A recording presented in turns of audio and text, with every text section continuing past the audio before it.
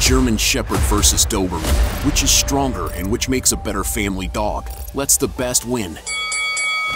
The size and cost.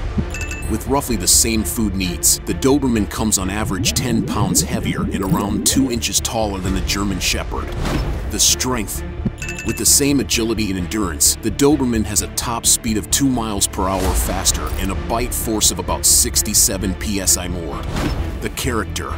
Both are considered among the smartest, easiest to train dogs, and very devoted to the family. The working. As guard and protecting dogs, both are superior, but the German Shepherd turns out to be more versatile for various jobs and climates. The life and health. With a shorter lifespan of two years, the German Shepherd is considered the healthiest breed in general. So, which one is better, German Shepherd or the Doberman Pinscher? What do you think?